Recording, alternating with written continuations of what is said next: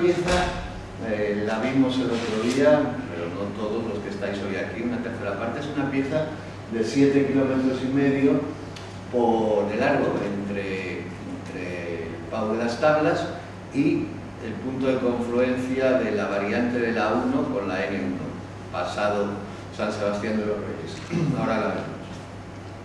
7 kilómetros y medio de longitud por un ancho que varía entre los 300, 400 metros acerca del kilómetro. Una pieza de unos 5 o 6 kilómetros cuadrados.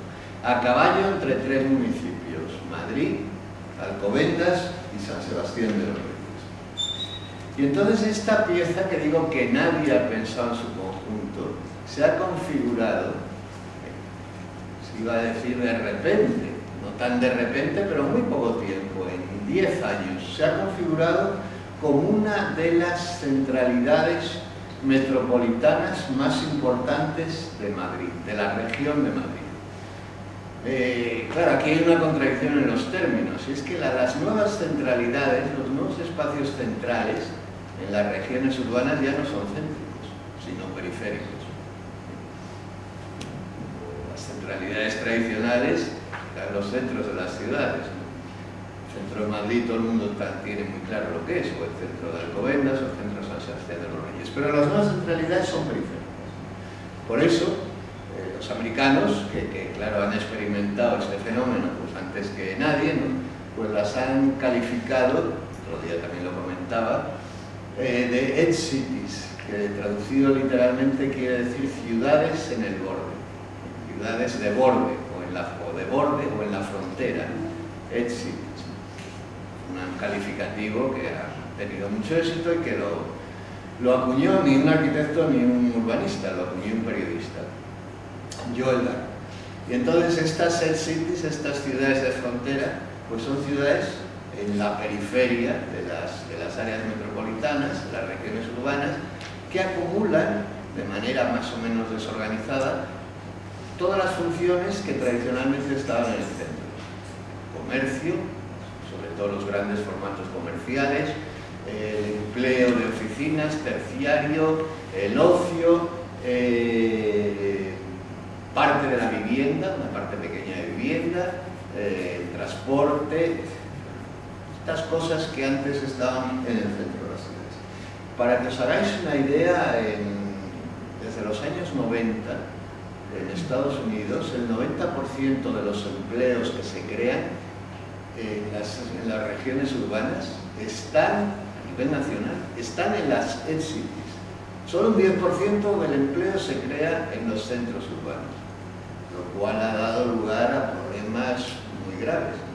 Problemas muy graves, uno de los cuales es de inaccesibilidad de los empleos, sobre todo los nuevos empleos, a las minorías eh, con menor movilidad y con menores niveles de renta que viven en el centro de las ciudades o que viven en la periferia pero que no disponen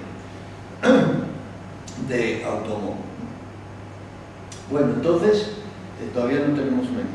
Ah, se, han ido a buscarla. Bueno, entonces, el corredor de la N1, pues yo creo que es un buen ejemplo, lo tengo en papel, pero en papel no vais a ver es un buen ejemplo de, eh, una S-City de, este tipo. Tiene, eh, ¿Cuáles son las características generales de esta S-City?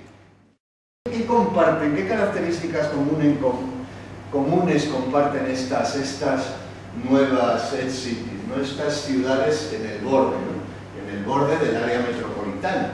Es, es, uno de los bordes del área metropolitana, el borde noreste pues comparten siempre una situación estratégica respecto al viario arterial.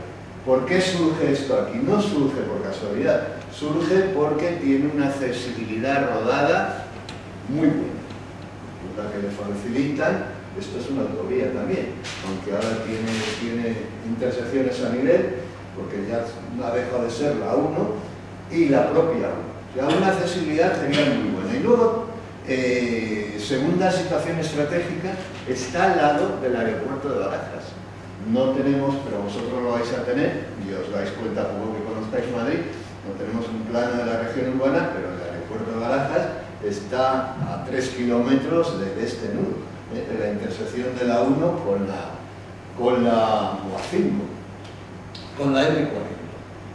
Una situación estratégica. Y tercera característica estratégica es que estamos, estamos en el norte. Ya sabéis que las regiones urbanas y las ciudades siempre han tenido direcciones, direcciones privilegiadas y direcciones malditas. Entonces en Madrid eso ha sido una constante.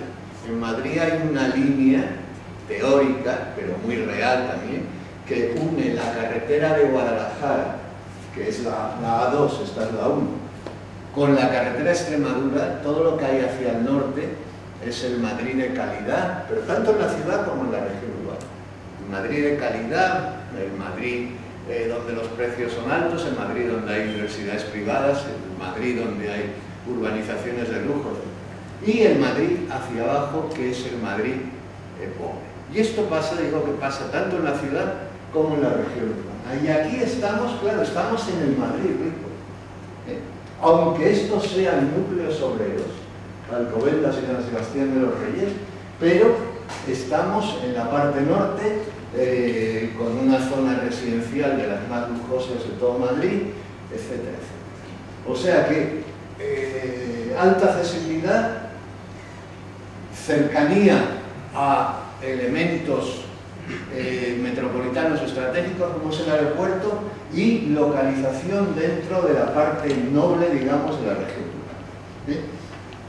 Y entonces, lo que les ocurre a estas piezas por eso lo planteamos como objeto de reflexión, es que se han creado como acumulación de iniciativas diferentes sin pensamiento de conjunto. Seguía con lo que había empezado a contar, esto forma parte de, de las tablas, esta es una promoción diferente, del Parque Empresarial de las Rozas, aquí se localizan unos centros comerciales eh, antiguos eh, que se localizaban justo en el borde del antiguo aún, no son anteriores a la eh, algunas otras piezas menores, otro centro comercial, una gran iniciativa, una gran iniciativa terciaria del Ayuntamiento de Alcobendas que se llama Arroyo La Vega y que en este caso esta iniciativa es la única que se, se localiza tanto en el pasillo como al otro lado del pasillo, utilizando pues unos bordes que estaban sin construir eh, cerca, vamos, en el borde exterior de la Moraleja. Entonces, un parque empresarial importantísimo, eh, eh, que tiene algo de residencia, que tiene alguna pieza de parque, que tiene otro centro comercial.